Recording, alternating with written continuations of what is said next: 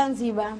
Naibu Waziri wa Elimu na Mafunzo ya Mali Manga Mjengo Mjawiri amewataka walimu kujifunza zaidi na kutafuta mbinu mbadala za ufundishaji ili kupunguza tatizo la kutofaulu kwa wanafunzi.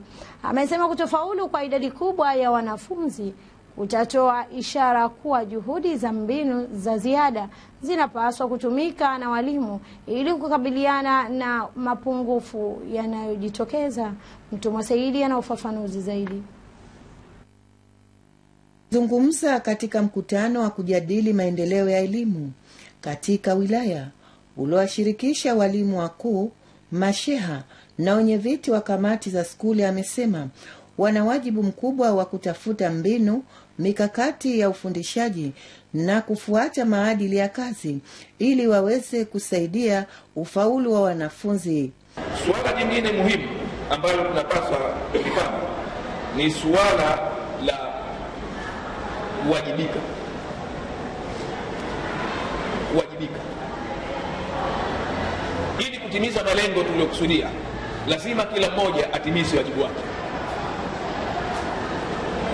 Kwa bahati nzuri, wajibu uko dhahiri, umefafanuliwa vizuri. Mwalimu mkuu atimizi wajibu wake,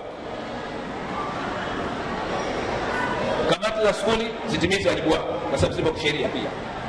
Sheha atimizi wajibu wake, mzazi atimize wajibu wake, nao pia kwa kisheria katika kumlea mtoto wake, na wizara katika ujumla wake nayo wajibu wake.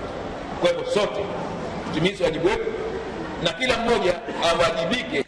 Wakitoa maoni yao, wadau hao katika sekta ya elimu wameitaka Wizara ya Elimu kuanzisha kitengo cha uchunguzi wa walimu hasa wa viwango vya elimu pamoja na kuangalia upya sera ya elimu. Wajibika kwa mwalimu ambaye wanafunzi wake hawakufanya vizuri. Kuna sura tofauti tofauti katika eneo hili, na miongoni mwa maeneo hayo ni eneo la mwanafunzi mwenyewe.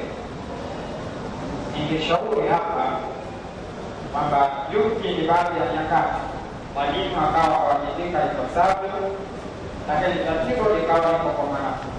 Sasa fanya pia wale wanaowatumia wanafunzi katika shughuli mbalimbali na watizamwe lazima kiserikali na nchi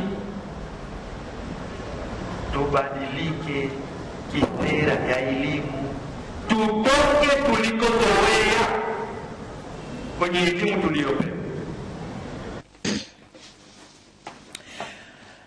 Afisa elimu wa mkoa ndugu Hatibu Tabia akitoa taarifa ya wilaya ya Magharibi A na B amesema utoro wa wanafunzi, uvamizi wa maeneo ya skuli, upungufu wa madawati bado ni changamoto kwa ustawi wa elimu. Unyanyasaji wa wa watoto wa kike na wa kiume umekuwa taarifa zinazoripotiwa katika ofisi zetu za wilaya zinazofanyiwa kazi. Watakaobainika watachukuliwa hatua za- kisheria. Hili lipo katika wilaya zetu. Jingine ni uvamizi wa maeneo ya skuli. Skuli zetu za wilaya magharibi A na B zimekumbwa uvamizi wa maeneo, na sababu kubwa ya uvamizi huu unatokana na mambo yafuatayo. Kwamba kwanza, skuli zetu zinakuwa hazina hatimiliki, lakini nyingine hata zenye hatimiliki zinavamiwa kwa sababu hakuna uzio. Nikiripoti ni Bahati Ahmad wa ZBC.